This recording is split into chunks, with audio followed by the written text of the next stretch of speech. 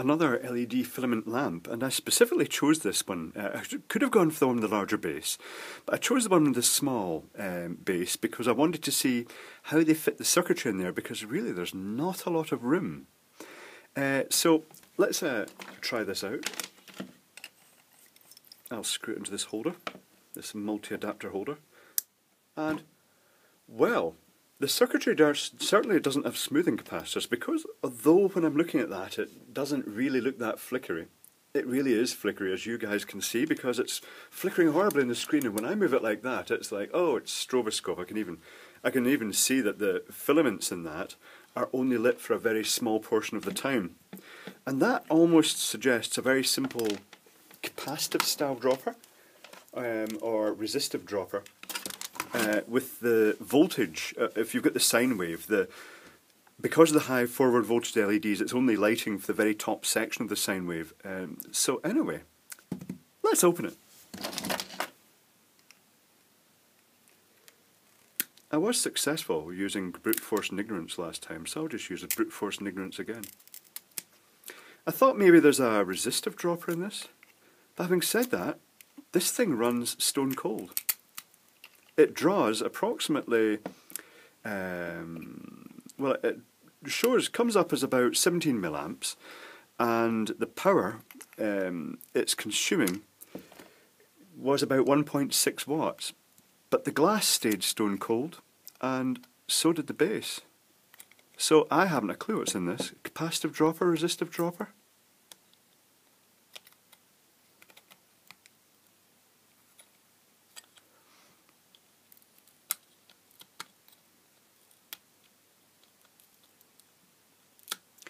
There's not really an awful lot in that.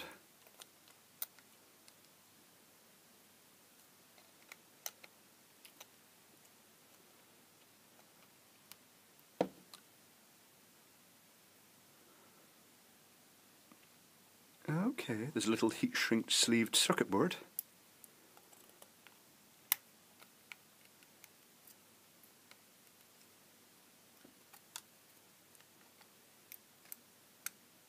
Which looks as though it's fundamentally got a bridge rectifier on it.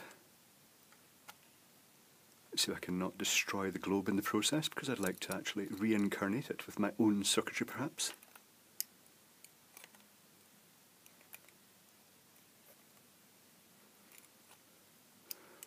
So technically speaking, this could have a bridge rectifier and it could have one of those self-regulating chips on it again, but just running an unsmoothed unsmooth supply, really, that is. They've cut it very close to the. Um, yeah. I'm going to need a knife to slit this heat shrink. Now I can see a little boxy component one side and a boxy component on the other.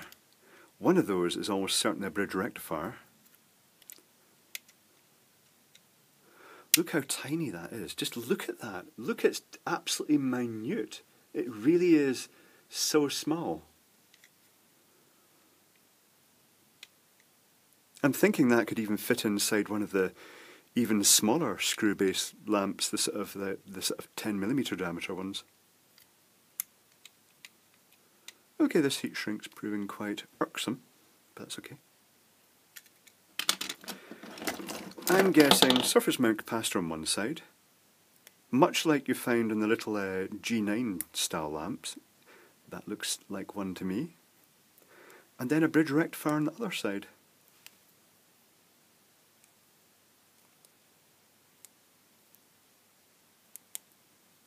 And that's exactly what it is. There's a little wire going up here, little just bare copper wires, going up to the uh, outer sleeving there. Oh, that is tiny. That circuit board is approximately 10 millimeters by about 8 millimeters. It's minute. And it is the most absolute basic capacitive dropper. That's incredible. So I do see some other component values there. So one of them is going to be an inrush limiting um, resistor, and the other one is going to be the discharge resistor for across the uh, capacitor.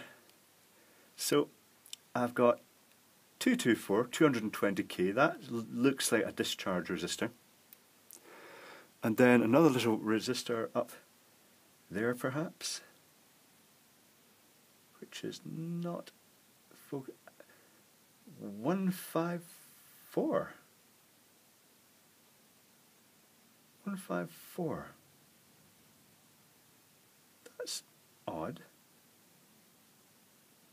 150k sounds quite a high value.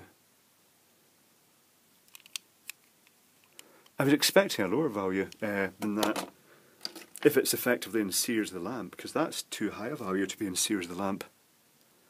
I'm not sure what that's for. Unless it's to, um, oh, you know what, that is probably so the lamp actually goes off when you've turned it off at the wall, because otherwise the slight leakage of current that you get through, um, you get through um, the wiring, the, the switch wiring, would probably make this lamp continue to glow. Oh well, I'm going to whip that resistor out. I quite like the idea of lamps that glow with free power. But that is just incredible. There is no series resistor that I can see, it really is just a capacitor. And so let's check the value of the capacitor.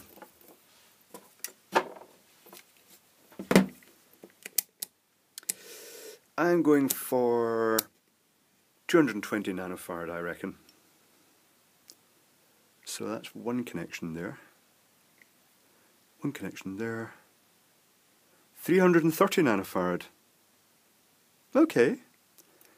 That explains the why the whole thing was just running cold, but it also means that all those LEDs, when you first power it up, and you know potentially there's going to be quite a spike of current going through that because there's no real uh, current limiting initially.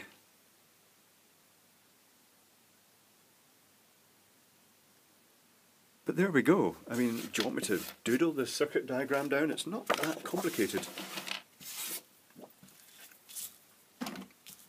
It's basically live, uh, which I think was going to. Oh, I can't remember which. Uh, I think it might have been going to the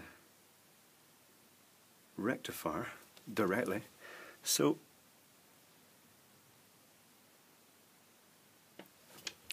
just going to grab the meter one moment and double check so I don't give you a bum steer. Tangled leads.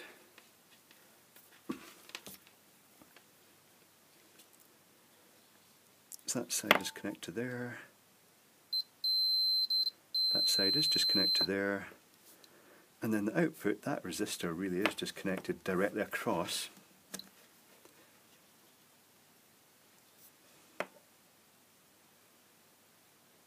the LEDs, and it is.